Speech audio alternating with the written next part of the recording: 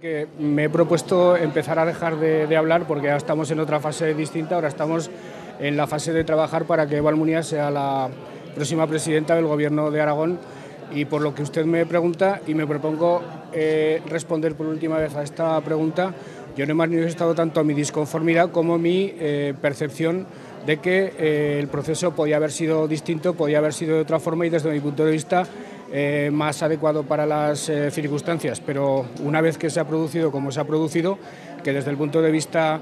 del de respeto a los estatutos del partido es eh, absolutamente impecable, yo doy por cerrada la cuestión y.